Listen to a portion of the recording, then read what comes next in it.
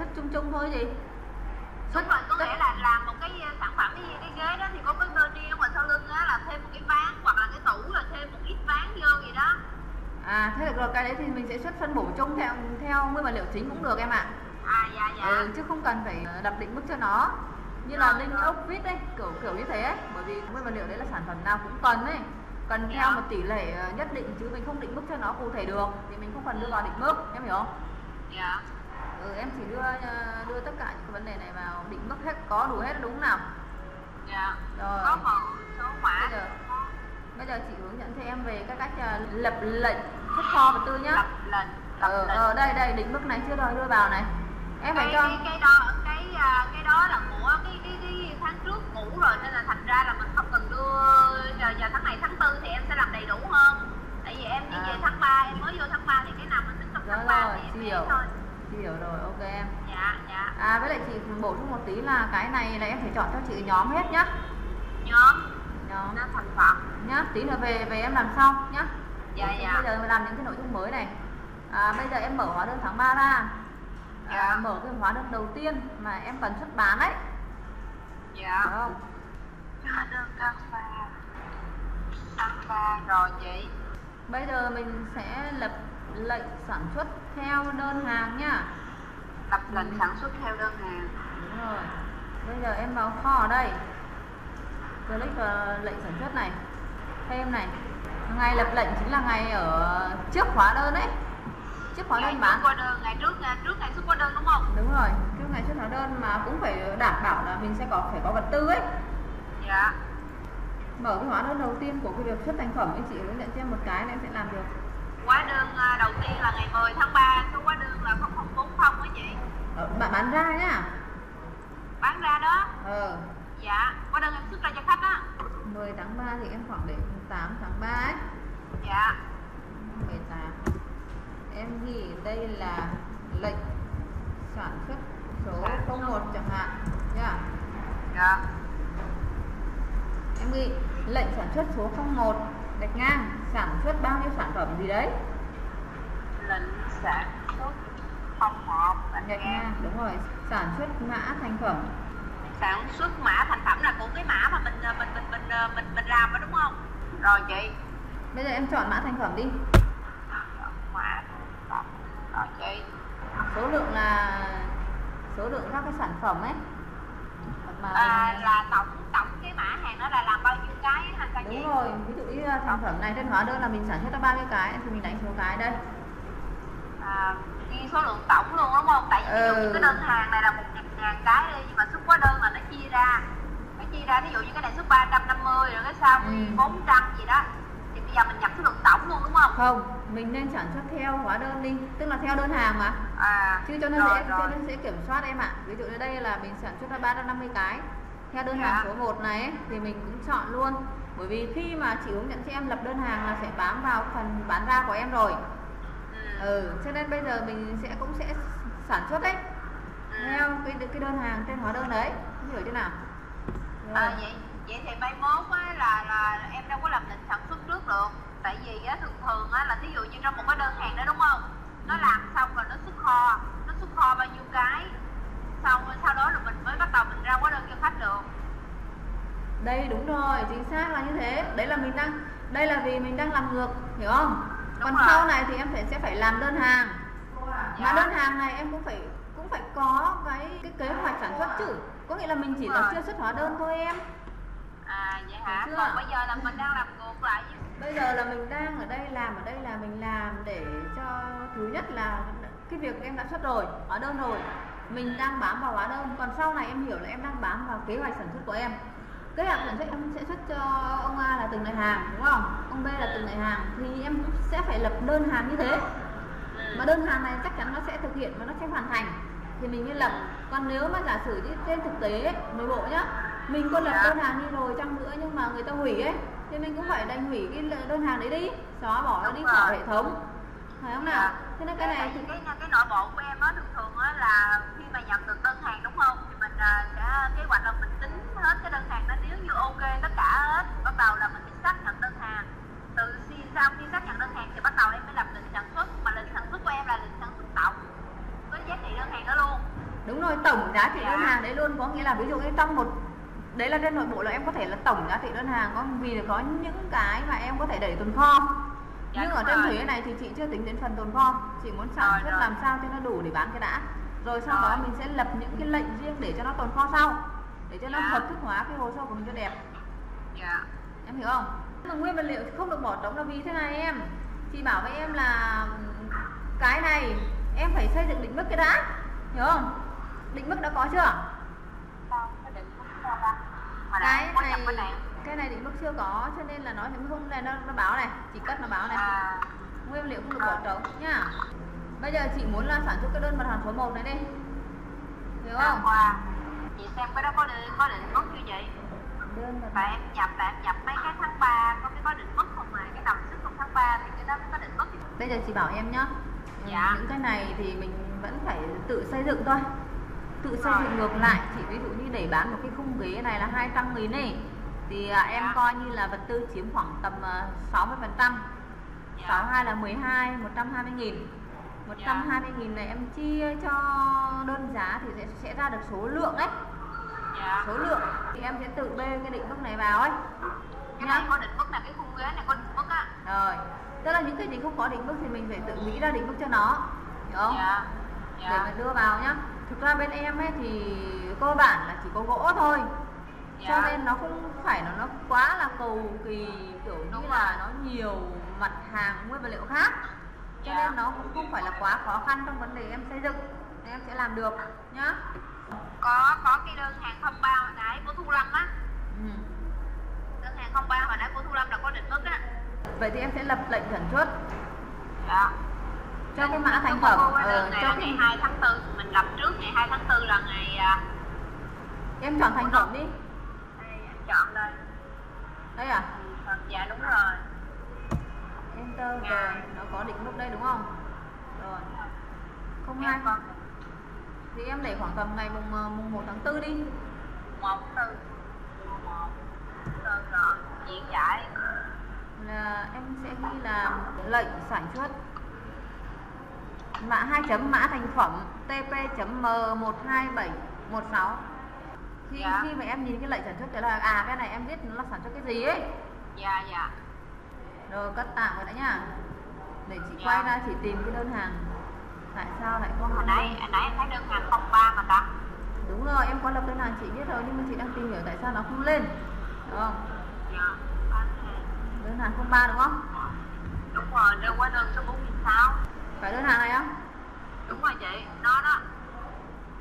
Mà sao lại ngày đơn hàng lại là mùng 9 tháng 1 em nhỉ? Này đáng lẽ phải ngồi mùng 2 tháng 4 là nhập theo cái ngày quá đơn đúng không chị? Ừ. em quên đổi lại đó. Rồi bắt rồi đây đơn hàng đây nhá. Rồi gì chọn đơn đặt hàng ờ, của ba đúng không? Đúng rồi chị. Ừ. À, đã là đơn đặt hàng rồi thì mình nhưng mà em đang làm theo thông tư ờ, 133 nhá dạ. Nên em phải chọn khoản mục chi phí là nguyên vật liệu trực tiếp đây luôn. Hiểu chưa? Ừ. dạ. Em làm theo đơn đặt hàng cho nên là em sẽ bỏ qua cái đối tượng hợp chi phí. Hiểu không nào? Bởi vì Dạ. chị sẽ tính giá thành theo đơn đặt hàng nhá. Dạ dạ. Sau để em cất đây. Bước này em hiểu chưa? Rồi. Hôm nay vậy là hôm nay đã học được thêm một bước nữa. Đó là lập lệnh sản xuất theo đơn đặt hàng nhá. Dạ. Ờ, thế thì bây giờ á điều kiện để lập lệnh sản xuất theo đơn đặt hàng có nghĩa là em phải xây dựng hết được định mức tất cả các sản phẩm. Đúng dạ. Không nào? Thì Dạ. quay ra em nên lập được lệnh sản xuất của tất cả các sản phẩm mà em đã xuất bán trong quý 1 này Dạ. quý 1 2018 này. Dạ. Ờ thế bước tiếp, tiếp theo khi mà em lập được lệnh sản xuất rồi em thì em sẽ bấm vào cho chị cái lập phiếu xuất kho theo đơn đặt hàng nhá. Dạ. Lập phiếu xuất kho theo đơn đặt hàng em chọn đến cái thành phẩm mà em sẽ muốn sản xuất theo cái đơn đặt hàng số 3 chị vừa chọn xong ấy. Đúng không? À nhưng tuy nhiên cái lệnh này ở đây em sản xuất bao nhiêu cái thì em sẽ sửa lại cho chị đi. Không phải một cái đâu. À hồi nãy là mình là, là hồi nãy là sản xuất là mình cái đó là bao nhiêu cái đúng không? Đúng em mở hóa đơn ra đi em. Hoặc là theo theo thực tế là em mở cái cái, cái kế hoạch sản xuất của em ra đúng không? Còn bây Dạ. giờ trên thuế của mình mình cứ mở hóa đơn ra ấy chị giống như bữa trước cái đơn hàng cái hóa đơn này là lúc mà em nhập vô cái đơn à, đơn hàng á là một cái hóa đơn nhưng mà nó xuất hai cái cũng là khung ghế nhưng mà nó hai cái mã thì em nhập hai dòng đó thì bây giờ lúc mà nhập vô trong đây là nhập số lượng tổng luôn hả chị? Hai dòng thành phẩm bao nhiêu? Thành phẩm tên gì ấy thì phải rõ ràng luôn. À. Có mấy dòng? À. em hiểu không? Hóa đơn dạ, có dạ, bao dạ. có những sản phẩm nào? Thì em ừ. chọn luôn đây rồi em chọn tương ứng mã thành phẩm và số lượng đi. Chị bảo là cùng một mã thì trên hóa đơn chỉ thể ở trên một lệnh này chỉ thể hiện cái số lượng tổng thôi. À, thể hiện sao chị? Đi nghĩa là trong hóa đơn này em xuất mấy mã thành phẩm nhở? Như trong cái hóa đơn này à, em, lúc mà em nhập lên á là em nhập số lượng tổng 440 cái luôn của hai cái mã luôn. Mai mốt em sẽ tách ra làm hai dòng không? À đúng rồi. Khung ghế Dạ. loại này thì nó khác khung ghế loại kia nó khác chứ. Dạ và dạ. định mức vật tư của nó cũng sẽ khác chứ em đúng không? Thôi Dạ. được rồi chị sẽ hướng dẫn quy trình. Còn cái đấy cụ thể chi tiết về em sửa sau nhá. Dạ. Rồi chỉ cất đây. Sau khi em lập xong lệnh chuẩn xuất ấy thì em sẽ bấm vào lập phiếu xuất kho. Lập dưới số kho ừ, rồi. lập phiếu xuất kho. Mục đích là sau đó mình sẽ chọn cái cái mã thành phẩm. Có bao nhiêu thành phẩm thì mình sẽ chọn bấy nhiêu luôn em hiểu không? Dạ dạ. Ừ mục đích là để cho phần mềm nó sẽ link cái theo cái định mức mà thành phẩm mình sản xuất đấy. Là nó có cái gỗ thông này đúng không? Là một thành phẩm thì bao nhiêu còn à, bao nhiêu thành phẩm thì nó nhân lên số lượng tương ứng. Em hiểu chưa nào? ừ còn à, phiếu chất kho này luôn luôn là sẽ chọn hai nhỏ xuất cho sản xuất. Người nhận Dạ. là ai ví dụ như là bạn này chẳng hạn là kế toán kho được chưa? Thì mình sẽ ghi nó sẽ phần mềm nó sẽ hiểu là xuất nguyên vật liệu theo lệnh sản xuất số 1 mình vừa làm xong. Ngày giả sử là ngày à, trên hóa đơn hoặc là ngày trước hóa đơn một tí chẳng hạn được chưa? Dạ. Ờ xong mình sẽ bấm sai nhỏ thống kê này. Khoản mục chi phí nó phần mềm nó sẽ tự động. Nó nó chọn cho mình. Em hiểu không? Và xuất cho đơn học là hàng số mấy? Đơn là hàng đơn số mấy? không ba không hiện lên nhỉ? Em phải để cho chị vào có cái thời điểm cái thời điểm mà đúng cơ. Trong tháng đó ấy. không ra chị ngày 2 tháng 4 đơn đặt hàng rồi em em đặt đặt ngày bao nhiêu? Đơn hàng là cái đơn lúc mà lập đơn hàng là em làm toàn là cái ngày xuất hóa đơn không mà là ngày 2 tháng 4 đó. 22 tháng 4 à? Rồi để yên chị xem. Em ơi dạ. em thấy chị làm không? Tức là ở đây khi mà em lập phiếu xuất kho thì em à, tham chiếu cho chị ở cái lệnh sản xuất số 1 này này. Thấy chưa? Thì lúc đó đơn đặt hàng của em ấy nó sẽ tự động update vào luôn cho em. Ừ. từ từ nhảy ra đúng không? Đúng rồi. Nhớ chưa nào? Nhớ quy trình chưa? Nhớ rồi. Rồi. Xong rồi em bấm cắt đây. Mà trên cái phần này ở đây là trên thực tế là cái ngày này phải lùi lại một chút nhá. Dạ. Ờ, trùng với ngày là ngập lập lệnh mà trước ngày xuất một tí thì mình mới có thời gian để mình sản xuất chứ em Dạ, hiểu dạ. không? Rồi. Dạ. Ờ, còn cái phần ờ, số lượng thôi còn đơn giá thì khi mà mình tính lại kho ấy tính để để chuẩn bị tính giá thành cho cái phần đơn hàng này này dạ. thì phần mềm nó sẽ tự động nó cập nhật cho mình. Em hiểu chưa nào? Đấy. Thì buổi nay chị hướng dẫn cho em hai vấn đề thôi. Đó là lập lệnh sản xuất và xuất nguyên vật liệu theo lệnh sản xuất của đơn hàng nhá. À thế Dạ. bây giờ chị hỏi em một câu hỏi là trong trường hợp này trong ờ, trong cái phương pháp đơn hàng ấy em có cần phải lập phiếu nhập kho không nhỉ nhập kho là nhập nhập kho thành phẩm đấy nhập kho thành phẩm đấy kho khỏi luôn đi chị không cần đúng rồi không phải là khỏi đâu mà là không cần bởi vì Dạ. là mình làm xong mình sẽ xuất thẳng cho Đúng người rồi, bán luôn không qua kho một năm năm nữa tức là tính ờ, Dạ. theo phương pháp đơn hàng này sẽ là định khoản ở 632 có 154 khi mà nghiệm Dạ. thu đấy hiểu không Dạ. tính Dạ. giá vốn luôn do đó bước này em sẽ bỏ qua nhá dạ khác dạ. với tính theo tính giá theo phương pháp sản đơn là như thế rồi vậy thì về em làm hết cho chị triệt để đi nhá triệt Dạ. để hết cho chị những phần này thì chị mới hướng dẫn được phần lương thì mới tính được giá thành của các sản phẩm đấy rồi Nhá. Ơi. chị chị nói lại một lần từ đầu tới cuối cho em nghe qua một lần nữa đi Được. rồi em sẽ ghi lại rồi chị xóa Dạ. nhá chị xóa nhá dạ dạ à bây giờ chị nói này khi mà chị xóa lệnh được chưa? Dạ. phần mềm sẽ báo ngay cho chị là chị sẽ không thể nào xóa lệnh được nữa rồi. Vì sao? Dạ. vì nó sẽ còn báo chi tiết cho em đây này thấy chưa?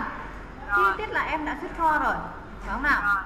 Thì em sẽ click vào chữ phiếu xuất kho này em sẽ bỏ ghi xóa xuất kho trước. Rồi dạ. tức là bước nào mình làm sau thì mình phải xử lý xóa nó trước. Rồi Dạ. sau đó mình mới xóa được cái bước trước đó hiểu chưa nào? Chị sẽ nói lại toàn bộ quy trình từ hôm nọ đến giờ. Thì dạy em nhá.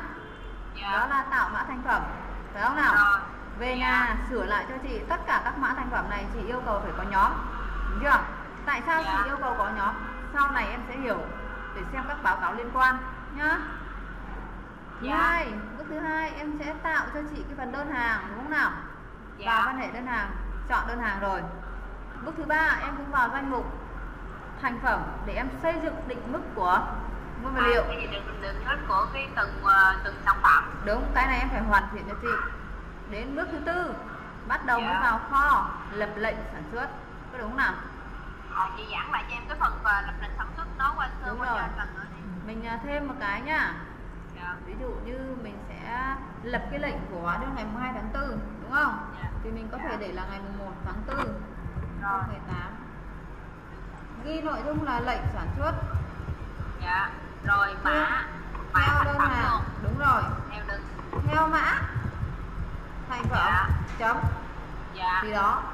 Chọn mã thành phẩm. Rồi. Ví dụ số lượng đây là 300 chiếc ghế chẳng hạn. Đúng không? Dạ dạ. Ừ. Theo đơn đặt hàng số mấy? Thì sao? Theo đơn. Mình sẽ mùng 1 tháng 4 ha, mình cất tạm cái đã. Nếu nó không lên. Dạ mình sửa lại thì nó sẽ update cho mình. Đó là cái lưu ý nhá. Dạ. Cất à, sau khi mình làm xong cái bước lệnh sản xuất này rồi thì mình sẽ bấm vào lập phiếu xuất kho. À nhưng em chú ý cho chị một tí. Ở cái lệnh sản xuất này chọn cho chị đầy đủ khoản mục chi phí nếu dùng thông tư 133 rõ cho em.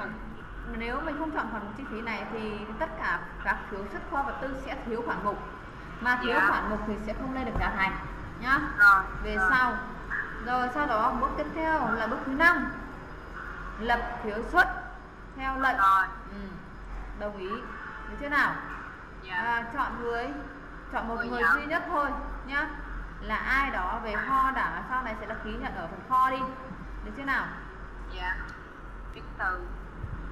Nhớ là phải sửa lại cho chị cái ngày à, hạch toán và ngày chứng từ nhá Phần chứng mềm sẽ tự- trước ngày trước ngày xuất hóa đơn. Đúng trước ngày xuất hóa đơn.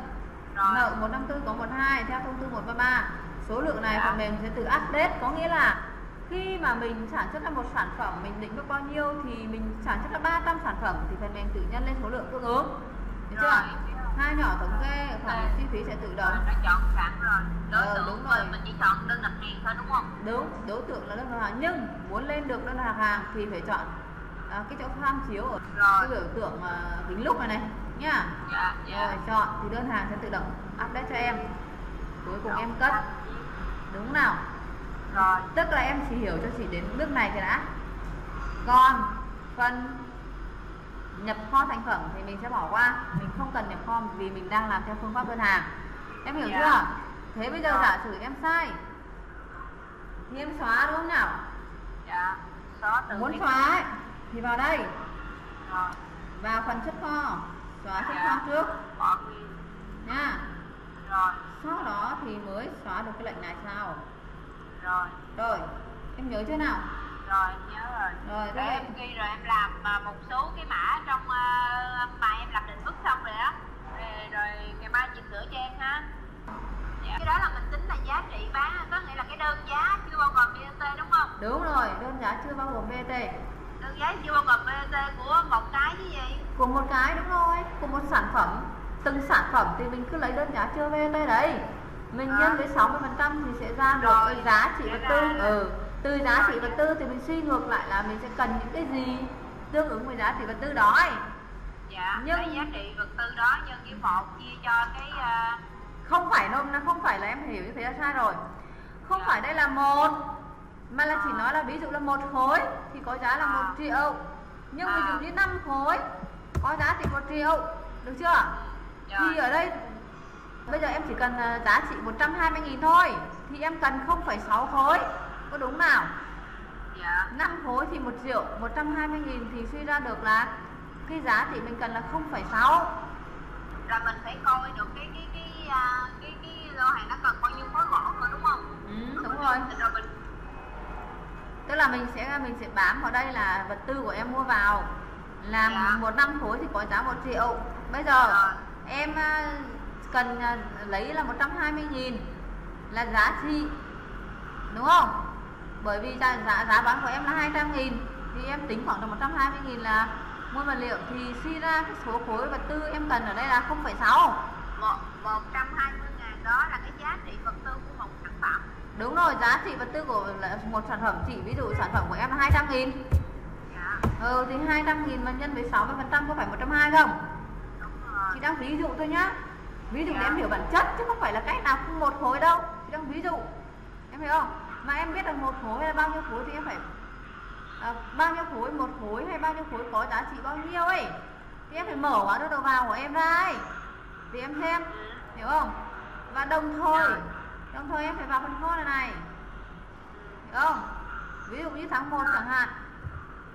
Nó còn thừa những cái vật tư gì ấy? Em mà có khi em xây dựng cho những cái vật tư không có trong kho thì cũng rất là vô lý. Em hiểu không? Nhưng mà may sao của em chẳng có loại gì loại ngoài gỗ gỗ thông và gỗ tràm. Đúng không? Cho nên nó cũng rất là dễ chứ nó không khó. Phải không nào? Bây giờ chỉ ví dụ này loại gỗ thông. Thấy chưa? Thấy chưa này? Rồi 55,79 thì có giá trị nhập kho là 193 triệu đúng không? Thì chị đưa ra bài toán này 55.79 có giá trị nhập kho là 193 triệu. Chia ra 120 nghìn. Bằng. Chia. 0,034 hiểu chưa một em? sản phẩm hả chị? Ừ đúng rồi. Dạ. Chị đang xây dựng định mức toàn bộ là cho một sản phẩm. Dạ Có dễ không? rồi em hiểu chỗ này rồi. Đây rất đơn giản nhá. Dạ. Rồi vậy hiểu. Thì về làm triệt để cho chị toàn bộ những nội dung chị hướng dẫn. Thì từ đó chị mới biết được em đúng hay sai nhá